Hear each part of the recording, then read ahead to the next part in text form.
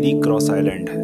अपने आकार में यह एक वर्ग मील से थोड़ा अधिक है और यहाँ एक चीनी सैन्य अड्डा है। यह आइलैंड दस हज़ार फीट लंबी हवाई पट्टी, एक उन्नत रडार स्टेशन, एक मिसाइल रक्षा प्रणाली और लगभग 200 सैनिकों से लैस है। लेकिन मज़े की बात यह है कि चार साल पहले फेरी क्रॉस आइलैंड जैसी कोई चीज़ थी ही नहीं।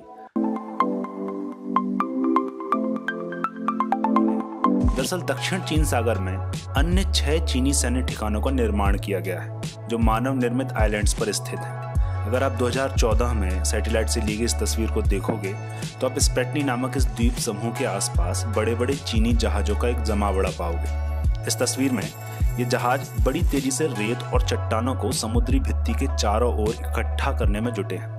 दरअसल वे द्वीपों का निर्माण कर रहे हैं। और फिर एक साल से भी कम समय के बाद इन्हीं मानव निर्मित आइलैंड्स पर चीन बंदरगाहों हवाई अड्डों और इमारतों की एक श्रृंखला खड़ी कर चुका था और तब दुनिया की नज़र इस ओर गई This morning, and what China does not want you to see. The superpower is reclaiming land in seven spots in the South China Sea, adding on average more than three and a half acres. न सिर्फ़ आज बल्कि पूरे मानव इतिहास में ये जगह दुनिया की सबसे महत्वपूर्ण सागरीय स्थलों में से एक रही है नाम है साउथ चाइना सी, या दक्षिणी चीन सागर। साउथ चाइना सी अविश्वसनीय रूप से प्राकृतिक संसाधनों से समृद्ध है, जिसमें 1100 करोड़ बैरल कच्चा तेल 190 लाख करोड़ घन फीट प्राप्त गैस और दुनिया भर का लगभग 10 प्रतिशत मछली शामिल है।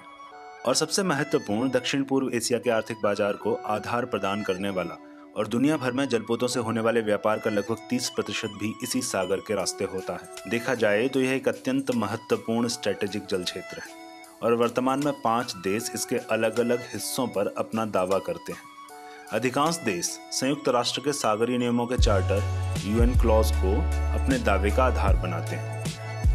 जिसके अनुसार एक देश का स्थानीय जल क्षेत्र उसके समुद्र तट से 200 मील तक होता है। तकनीकी भाषा में से एक्सक्लूसिव इकोनॉमिक जोन या ईईजेड e कहते हैं। संबद्ध देशों का उनके अपने ईईजेड e के दायरे में फैले सभी संसाधनों व जल व्यापार पर पूर्ण अधिकार होता है। जैसे उदाहरण के तौर पर, वियतनाम के तट से 200 मील दूरी तक के जल क्षेत्र में कोई भी तेल पाया जाता है तो इस पर वियतनाम का मालिकाना हक होगा।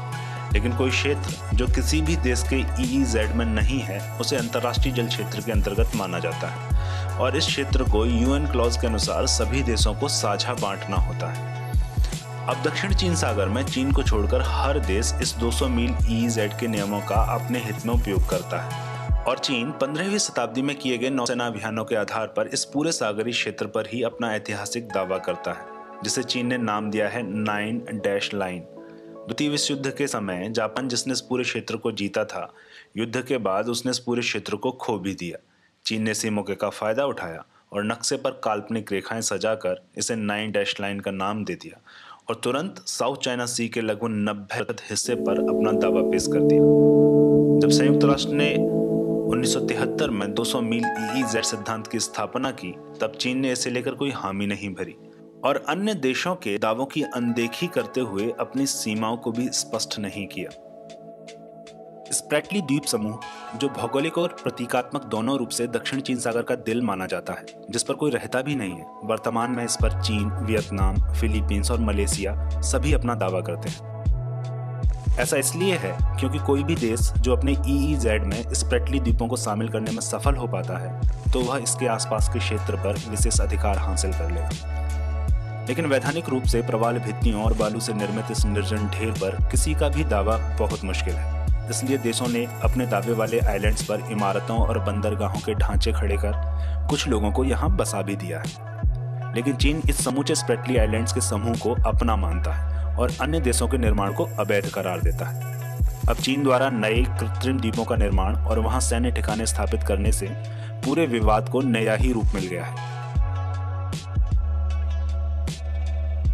इस सब के बाद संयुक्त राज्य अमेरिका, जापान और भारत ने इस मुद्दे पर गौर दिया है। हालाँकि इन देशों का इस क्षेत्र पर अपना कोई दावा नहीं है, लेकिन फिर भी दुनिया की अकेली महाशक्ति के तमगे वाले अमेरिका ने इस इलाके की सुरक्षा के लिए अपनी विशाल नौसेना को गश्त पर लगा दिया है। चीन इस क्षेत्र में अमेरिकी उपस्थिति को अपने घर में अतिक्रमण के रूप में देखता है। जब एक अमेरिकी विध्वंसक जलपोत चीन द्वारा मानव निर्मित द्वीप से सिर्फ़ 12 मील की दूरी पर था तब तमतमाई चीन ने भी अपने विध्वंसक जलपोत और एक निगरानी बोट को चेतावनी के लिए भेजा। चीन इन द्वीपों का निर्माण आसपास के क्षेत्र में नियंत्रण बढ़ाने के लिए कर रहा है, जो कि एक सोची समझी सामरिक रणनीति का हिस्सा है, जिसे नाम दिया गया है कैबेज स्ट्रेटजी। हिंदी में कहें तो गोभी रणनीति। इस रणनीति के तहत किसी द्वीप या क्षेत्र के चारों तरफ़ ज़्यादा से ज़्यादा जहाजों का जमावड़ा खड़ा कर दिया जाता है, जो किसी गोभी जैसा दिखता है।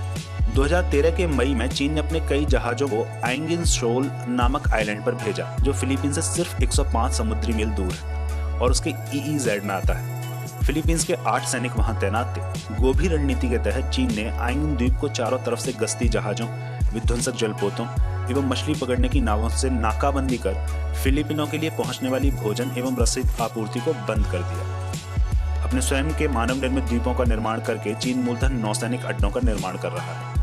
जितने अधिक द्वीप, उतने ही अधिक जहाज़ और उतने ही अधिक क्षेत्र पर धीरे धीरे दावा और फिर नियंत्रण। चीनी रणनीति का हिस्सा है। चीन स्पेटली द्वीप समूह में इस गोभी रणनीति का उपयोग करते हुए अपने अधिकार को बढ़ाता जा रहा है। साथ ही किसी बड़े संघर्ष की संभावना से भी बचने की कोशिश करता रहा लेकिन विवाद गहराता ही जा रहा है। सभी देश अपने दावे वाली जल सीमा में सक्रिय रूप से दूसरे देशों के मछुआरों या अन्य अतिचरों को गिरफ़्तार कर ही रहे थे।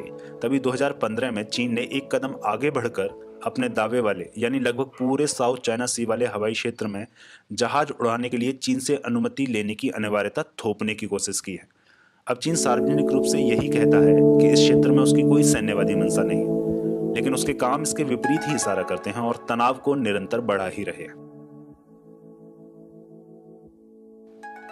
अमेरिकी राष्ट्रपति ट्रंप के निकटतम सलाहकार स्टीव बैनन, जो संयुक्त राष्ट्र सुरक्षा परिषद के अमेरिकी प्रतिनिधि हैं, के अनुसार मैं नौसेना अधिकारी के तौर पर वहाँ तैनात था। मैं समझता हूँ कि दक्षिण चीन सागर में अमेरिका और चीन का युद्ध लगभग निश्चित है। अभी नहीं तो अगले पाँच से दस सालों में, और इस संबंध में मुझे कोई संदेह नहीं है। हालाँकि अभी विवाद कानूनी और राजनयिक गलियारों तक ही बना हुआ है, जो कभी कभार मामूली झड़पों में भी दिख जाता है। जुलाई 2016 हेग स्थित स्थायी मध्यस्थता न्यायालय ने फिलीपींस व चीन के मध्य हुए विवाद में फैसला फिलीपींस के पक्ष में दिया।